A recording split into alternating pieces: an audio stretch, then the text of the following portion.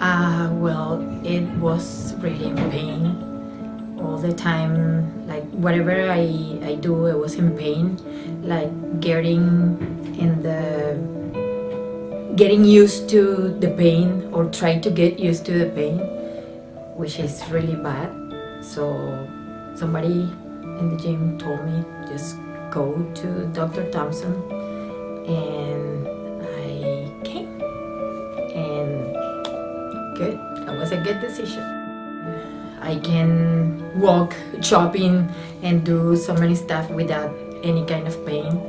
Um, still a little bit you know like mm, I'm still working on it but before I I start uh, my my chiropractic care it was like in level from 1 to 10 my pain was in 12 probably and right now I can tell you it's 2 easily yeah.